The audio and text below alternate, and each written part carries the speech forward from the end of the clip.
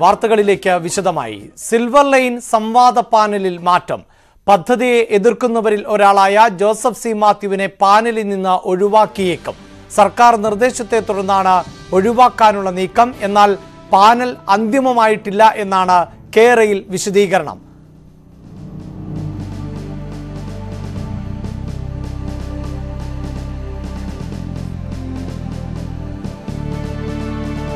വാർത്തയുടെ വിശദാംശങ്ങളുമായി V V Arun ചേരുന്നുണ്ട്. അരുൺ വിശദമായൊരു സംവാദം. പ്രത്യേകിച്ച് എതിർക്കുന്നവരെ കൂടി ഉൾപ്പെടുത്തിക്കൊണ്ടുള്ള ഒരു സംവാദ പരിപാടിയിലേക്കാണ് പോകാൻ തീരുമാനിച്ചിരുന്നത്. അലോക് വർമ്മ ഉൾപ്പെടെയുള്ളവരെ പാനലിന്റെ ഭാഗമാക്കുകയും ചെയ്യുന്നു. ശക്തമായ എതിർപ്പുന്നയിക്കുന്ന മറ്റൊരാളാണ് ജോസഫ് സി. മാത്യു. എന്തുകൊണ്ടാണ് അദ്ദേഹത്തെ മാറ്റുന്നത് എന്നതിന്റെ എന്തെങ്കിലും സൂചനകൾ ലഭിക്കുന്നുണ്ടോ? പാനൽ അന്തിമമായിട്ടുള്ള വിശദീകരണമാണ് കേരള കോർപ്പറേഷൻ നൽകുന്നത്. മറ്റൊരു കാരണമായി അവർ ചൂണ്ടിക്കാട്ടുന്നത് ജോസഫ് സി. മാത്യു ഈ രംഗത്തെ വിദഗ്ധരല്ല. അദ്ദേഹം ഐ ടി രംഗത്തെ വിദഗ്ധരാണ്. അദ്ദേഹത്തെ ഇതിൽ ഉൾപ്പെടുത്തുന്നത് ഉചിതമാവില്ലെന്ന വിലയിരുത്തലിലാണ് മാറ്റുന്നതെന്നാണ് അവരുടെ ഔദ്യോഗിക വിശദീകരണം. പക്ഷേ യഥാർത്ഥ കാരണം അതല്ല.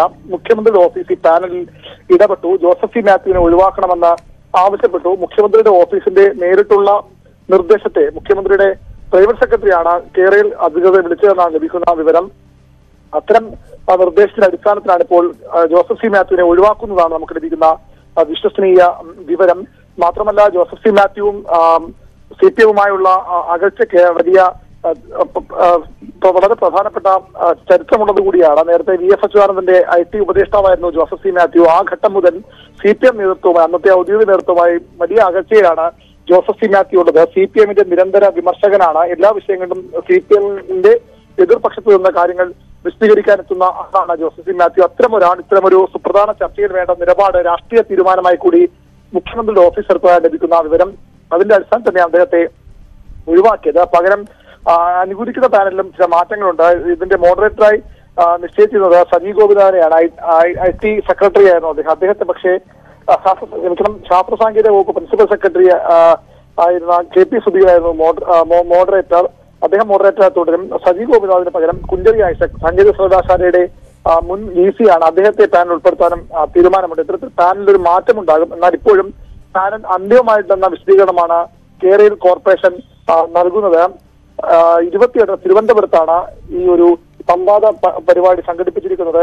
വാദിക്കാനും ജയിക്കാനുമല്ല അറിയാനും അറിയിക്കാനും എന്ന പേരിലാണ് വിമർശകരെ കൂടി ഉൾപ്പെടുത്തി ഉൾക്കൊള്ളിച്ചുകൊണ്ടുള്ള ഒരു പാനൽ. സെമിനാറിനായി തയ്യാറാക്കിയിട്ടുള്ളത്. റൈറ്റ്. അവിടെ അരുൺ ഏറ്റവും പ്രധാനപ്പെട്ടത് ഈ കേരയിൽ നൽകുന്ന ഇപ്പോഴത്തെ മറുപടി. അതായത് ഈ മേഖലയിലെ ഒരു വിദഗ്ധനല്ല അദ്ദേഹം ഐ ടി മേഖലയിലെ വിദഗ്ധനാണ്. അതുകൊണ്ട് ഒഴിവാക്കപ്പെടുന്നു എന്ന് പറയുമ്പോൾ ഈ പാനലിലെ മറ്റ് അംഗങ്ങളെ പരിശോധിച്ചാൽ ഇങ്ങനെ ഒരു ഫീൽഡുമായി ബന്ധപ്പെട്ട ആളുകൾ മാത്രമാണോ ഈ പാനലിൽ വരുന്നുള്ളൂ?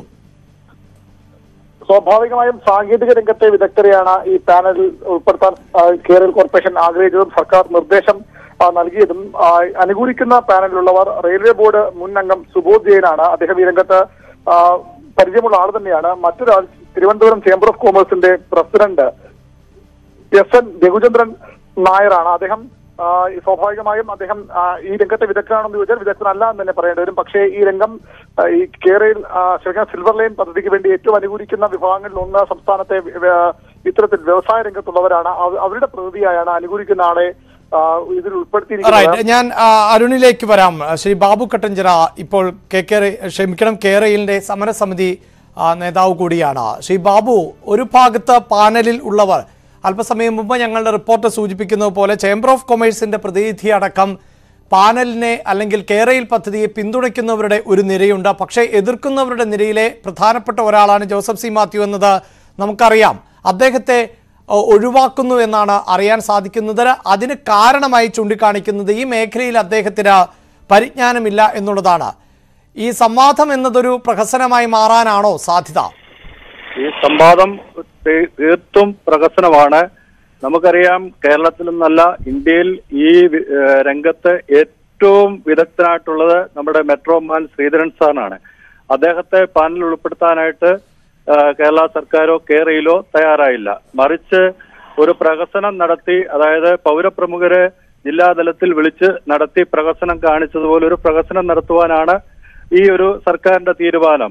ജനങ്ങളുടെ കണ്ണിൽ പൊടിയിടുവാൻ വേണ്ടിയുള്ളൊരു ഒരു തീരുമാനമായിട്ട് ഞങ്ങൾ ഇതിനെ കാണുന്നുള്ളൂ. ജോസഫ് സി മാത്യു ഈ രംഗത്ത് നേരത്തെ സർക്കാരിന്റെ ഭാഗമായിട്ട് മുൻ മുഖ്യമന്ത്രി വി എസ് അച്യുതാനന്ദന്റെ സെക്രട്ടറി ആയിട്ട് പ്രവർത്തിച്ച ഒരാളാണ്. ഇടതുപക്ഷ സഹയാത്രികൻ തന്നെയാണ്. അദ്ദേഹം കേരളത്തിന്റെ കേരളത്തിലെ മുഴുവൻ ജനങ്ങളുടെയും പ്രശ്നമായി ഈ കേരളിനെ കണ്ടുകൊണ്ടാണ് അദ്ദേഹം ഇതിനെ ശക്തമായി എതിർക്കുകയും ചാനൽ ചർച്ചകളിലും അതുപോലെ തന്നെ ഞങ്ങളുടെ സമരവേദികളിലൊക്കെ കടന്നു വന്നത്. അദ്ദേഹത്തെ പോലൊരാളെ മാറ്റി നിർത്തി ഇതിനകത്ത് വിദഗ്ധന്മാരെ ഒന്നും പങ്കെടുപ്പിക്കാതെ അങ്ങനെയാണെങ്കിൽ ശ്രീധരൻ സാറിനെയാണ് പങ്കെടുപ്പിക്കേണ്ടത്. ഇന്ത്യയിൽ ഏറ്റവും ഈ രംഗത്ത് വൈദഗ്ധ്യമുള്ള ഒരാളാണ് ശ്രീധരൻ സാർ അദ്ദേഹത്തെ മാറ്റി നിർത്തി ഒരു പ്രഹസനമായിട്ടാണ് ഞങ്ങൾ ഇതിനെ കാണുന്നത്. ഞങ്ങൾ ഇത്തരം ചർച്ചകൾ- ഞങ്ങൾ ഇത്തരം. ചർച്ചകൾ ഞങ്ങൾ ഇത്തരം ചർച്ചകൾ നടത്തിയതുകൊണ്ടോ സംവാദം നടത്തിയോണ്ടോ ഒന്നും ഞങ്ങൾ സമര മുഖത്തു നിന്ന് മാറാനോ പിന്നോട്ടോ ഒന്നുമില്ല. കേരളത്തിലെ പരിസ്ഥിതിയെ സ്നേഹിക്കുന്ന കേരള ജനതയെ സ്നേഹിക്കുന്ന മുഴുവൻ ആൾക്കാരും ഈ പദ്ധതിയെ എതിർക്കും ഈ പദ്ധതി പിൻവലിക്കുന്നത് വരെ സർക്കാർ ഉപേക്ഷിക്കുന്നത് വരെ ഞങ്ങൾ സമരവത്തുണ്ടാകും സംവാദമോ പൗരപ്രമുഖരുടെ യോഗമോ അല്ലെ കളക്ടർ വിളിച്ചു കൂട്ടുന്ന യോഗമോ ഒന്നും ഞങ്ങൾ ഞങ്ങൾക്ക് തൃപ്തികരമല്ല. ഈ പദ്ധതി ഉപേക്ഷിക്കുക കേരളത്തിന് വേണ്ടാത്ത വിനാശകരമായ പദ്ധതി ഉപേക്ഷിക്കുക എന്നുള്ളതാണ് ഞങ്ങളുടെ മുദ്രാവാക്യം. റൈറ്റ്. അതായത് ഈ വിഷയത്തിൽ താങ്കൾക്ക് എന്താണ് മനസ്സിലാക്കാൻ സാധിക്കുന്നത്? കൃത്യമായ ഒരു രാഷ്ട്രീയം മാത്രമാണോ ഈ യോഗങ്ങളിലടക്കം പ്രതിഫലിപ്പിക്കാൻ ശ്രമിക്കുന്നത്? കാരണം നേരത്തെ തന്നെ അലോക് വർമ്മ ഈ പി പ്രൊജക്ട് റിപ്പോർട്ട് തയ്യാറാക്കുമ്പോൾ അടക്കം ഇത് യോജിക്കുന്ന ഒന്നല്ല എന്ന തരത്തിലുള്ള നിരീക്ഷണങ്ങളിലേക്ക് പോയിരുന്നു. അത് ആ ഘട്ടത്തിൽ തന്നെ എതിർക്കപ്പെടുകയും മറിച്ച് ഒന്ന് റിപ്പോർട്ടായി ലഭിക്കണം എന്ന തരത്തിലൊക്കെയുള്ള റിപ്പോ സൂചനകളും അതുമായി ബന്ധപ്പെട്ട കത്തിന്റെ വിവരങ്ങളും ഒക്കെ കഴിഞ്ഞ ദിവസങ്ങളിലടക്കം പുറത്തു വന്നിരുന്നു. ഇനിയും ഇത്തരം സംവാദങ്ങൾ നടത്തിയാലും അല്ലെങ്കിൽ കൂടുതൽ പഠനങ്ങൾ നടത്തിയാലുമെല്ലാം കേരളിന് അനുകൂലമായ ഒന്നും മാത്രമേ പുറത്തു വരാൻ പാടുള്ളൂ എന്ന് സർക്കാർ വാശി പിടിക്കുന്നതായി സംശയിക്കേണ്ടതുണ്ടോ?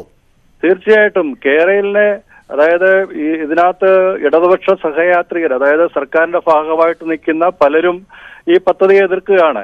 മുഖ്യമന്ത്രിയും മുഖ്യമന്ത്രിയുടെ പാർശ്വവർത്തികളും മാത്രമേ ഈ പദ്ധതിയെ അനുകൂലിക്കുന്നുള്ളൂ. അവർക്ക് ഒരു ഗൂഢലക്ഷ്യമുണ്ട്. ആ ലക്ഷ്യം നടപ്പിലാക്കുവാൻ വേണ്ടി ഉള്ള സംവാദവും പ്രചരണ പരിപാടികളും മാത്രമായിട്ട് ഇതിനെ കാണുവാൻ സാധിക്കത്തുള്ളൂ. ഒരു കാരണവശാലും ഈ പദ്ധതി നടപ്പിലാക്കുവാൻ കേരളത്തിലെ ജനങ്ങൾ അനുവദിക്കത്തില്ല. കാരണം അത് കേരളത്തിന് വിനാശകരമായ ഒരു പദ്ധതി എന്നുള്ള നിലയിലാണ് ഇത് മുന്നോട്ട് പോകുന്നത്. റൈറ്റ് വി വി അരുൺ വീണ്ടും ചേരുന്നുണ്ട്. വളരെയധികം നന്ദി ശ്രീ ബാബു കുട്ടഞ്ചിറ ഞങ്ങളോട് പ്രതികരിച്ചതിന്. അരുൺ ഈ സമരസമിതിയിലെ പ്രവർത്തകരുടെ പ്രതികരണങ്ങൾ കൂടി അരുൺ കേട്ടിട്ടുണ്ടാകും. ആ അതിഥി വന്നതുകൊണ്ടാണ് അരുണിനെ പൂർത്തീകരിക്കാൻ സാധിക്കാതെ പോയത്. അരുൺ പറഞ്ഞു നിർത്തിയത് ചേംബർ ഓഫ് കൊമേഴ്സിന്റെ അടക്കമുള്ള അംഗങ്ങൾ ഇതിൽ. ഈ സംവാദത്തിന്റെ ഭാഗമാകുന്നുണ്ട്. അവരൊന്നും ഈ മേഖലയുമായി ബന്ധപ്പെട്ട അധിക പരിജ്ഞാനമുള്ളവരല്ല. ഈ ശ്രീധരനെ അടക്കം പരിജ്ഞാനമുള്ളവരെ മാറ്റി നിർത്തിക്കൊണ്ട് ഒരു പ്രഹസനത്തിനാണ് ഈ സംവാദത്തിലൂടെ സർക്കാർ ലക്ഷ്യമിടുന്നത് എന്നാണ് സമരസമിതി പറയുന്നത്. മറ്റ് അംഗങ്ങളെ കൂടി പരിശോധിക്കുമ്പോൾ എന്താണ് നമുക്ക് മനസ്സിലാക്കാൻ സാധിക്കുന്നത് അരുൺ? അഭിലാഷ് സ്വാഭാവികമായും ജോസഫ് സി. മാത്തിന്റെ ഒഴിവാക്കൽ അതൊരു വൈദഗ്ധ്യം നോക്കിയെന്ന് ഇവർ വിശദീകരിക്കുമ്പോഴും സ്വാഭാവികമായും അതല്ല എന്ന് മനസ്സിലാക്കേണ്ടി വരും. അത് മനസ്സിലാക്കി കാരണം ജോസഫ് സി മാത്യുവിനോടുള്ള സി പി എമ്മിന്റെയും ഇപ്പോൾ സർക്കാരിന്റെയും ഒരു സമീപനം വ്യക്തിപരമായ എതിർപ്പ് തന്നെ വേണം അതിനെ വിലയിരുത്താൻ. അതിനപ്പുറത്തേക്ക് എതിർ എതിർ ശബ്ദങ്ങൾ കേൾക്കാൻ തീരുമാനമെടുക്കുമ്പോൾ അലോക് വർമ്മയാണ് ഈ പദ്ധതിക്കെതിരെ ഏറ്റവും അധികം ഈ അല്ല പറയുന്നത്. എങ്കിൽ പോലും അലോക് വർമ്മയാണ് ഈ പദ്ധതിയുമായി ഏറ്റവും അടുത്ത അറിവുള്ളയാൾ പദ്ധതി പഠിച്ചയാൾ അദ്ദേഹത്തെ ഇതിൽ ഉൾപ്പെടുത്തുമ്പോൾ എതിർ ശബ്ദങ്ങൾ കേൾക്കാൻ സർക്കാർ കേരള കോർപ്പറേഷൻ തയ്യാറാകുന്നു. പക്ഷേ അവിടെ എതിർ ശബ്ദങ്ങൾ പറയുന്നവരുടെ രാഷ്ട്രീയം കൂടി നോക്കുന്നു എന്നുള്ളതാണ് ഏറ്റവും പ്രധാനപ്പെട്ട കാര്യം. ജോസഫ് സിന്നാത്തുവിനെ മാറ്റി നിർത്തുന്നത് അത്തരമൊരു തീരുമാനത്തിന്റെ ഭാഗമാണ്. എന്തുകൊണ്ടാണ് മെട്രോമാനെ ക്ഷണിക്കാത്ത കാര്യത്തിൽ വ്യക്തതയില്ല. സ്വാഭാവികമായി അദ്ദേഹം നേരത്തെ തന്നെ പദവി എതിർത്ത് പറഞ്ഞാണ് അദ്ദേഹത്തെ ക്ഷണിച്ചു എന്ന കാര്യത്തിലും കൃത്യമായ വ്യക്തതയില്ല. ഏതായാലും ജോസഫ് സിന്നാത്തിനെ മാറ്റി നിർത്തുന്നത് അദ്ദേഹത്തിന്റെ വൈദഗ്ധ്യം പരിഗണിച്ചോ അല്ലെങ്കിൽ വൈദഗ്ധ്യം ഇല്ലെന്ന് വിലയിരുത്തിയോ പറഞ്ഞാൽ അത് വിശ്വസിക്കാൻ കഴിയുന്ന കാര്യമില്ല. അതിന് പകരം അദ്ദേഹത്തിന്റെ രാഷ്ട്രീയം അദ്ദേഹത്തിന്റെ രാഷ്ട്രീയ നിലപാടുകൾ നോക്കി തന്നെയാണ് ജോസഫ് സി മാത്യുവിനെ ഒഴിവാക്കിയതെന്ന് വളരെ വ്യക്തമാണ്. അരുൺ ഇതിൽ ഒരു സംശയം കൂടിയുള്ളത്. ഈ നേരത്തെ ജോസഫ് സി മാത്യുവിനെ ഔദ്യോഗികമായി ഇതിലേക്ക് ക്ഷണിച്ചിരുന്നതായല്ലേ റിപ്പോർട്ടുകൾ? ജോസഫ് സി മാത്യു ഉൾപ്പെടെയുള്ള പാനലാണ് ആദ്യഘട്ടത്തിൽ കേരള കോർപ്പറേഷൻ തയ്യാറാക്കിയത്. ഈ ഇതിന്റെ പാനൽ തയ്യാറാക്കാനും ക്ഷണിക്കാനും ഒക്കെയുള്ള ചുമതല കേരള കോർപ്പറേഷൻ തന്നെയായിരുന്നു. അതിന്റെ അടിസ്ഥാനത്തിലാണ് അവർ അത്തരമൊരു പാനൽ തയ്യാറാക്കിയത്. നമുക്ക് മനസ്സിലാക്കാൻ കഴിഞ്ഞത് പിന്നീടാണ് ജോസഫ് സി മാത്യു ഉൾപ്പെട്ട വിവരം മുഖ്യമന്ത്രിയുടെ ഓഫീസ് അറിയുന്നത്. അതിന്റെ അടിസ്ഥാനത്തിലാണ് അതിൽ ഇടപെടലുണ്ടാവുകയും ജോസഫ് സി മാത്യുവിനെ ഒഴിവാക്കണമെന്ന് നിർദ്ദേശിക്കുകയും ചെയ്തത് Kerala corporation M D A നേരിട്ട് വിളിച്ച് മുഖ്യമന്ത്രിയുടെ private secretary K K Ragesh ഈ ആവശ്യം ഉന്നയിച്ചു എന്നാണ് നമുക്ക് അറിയാൻ കഴിയുന്നത്. ഇത് സ്വീകരിക്കാൻ ഔദ്യോഗികമായി ഇത് പറയാൻ ആരും ഒരുപക്ഷെ തയ്യാറായേക്കില്ല എങ്കിലും ഇതാണ് അതിന്റെ വസ്തുത. അതുകൊണ്ട് തന്നെ അതിൽ രാഷ്ട്രീയമാണ് പ്രധാനമായും കാണേണ്ടത് പകരം അദ്ദേഹത്തിന്റെ വൈദഗ്ധ്യമോ അല്ലെങ്കിൽ ഈ മേഖലയിലെ പരിചയമോ ഒന്നും കണക്കാക്കിയല്ല അദ്ദേഹത്തെ ഒഴിവാക്കിയതെന്ന് വളരെ വ്യക്തമാണ്. കേരളയിലുമായി ബന്ധപ്പെട്ട വിമർശകരെ കൂടി ഉൾക്കൊള്ളിച്ചുകൊണ്ടുള്ള സംവാദം എന്നുള്ളതായിരുന്നു സർക്കാരിന്റെ നിലപാട്.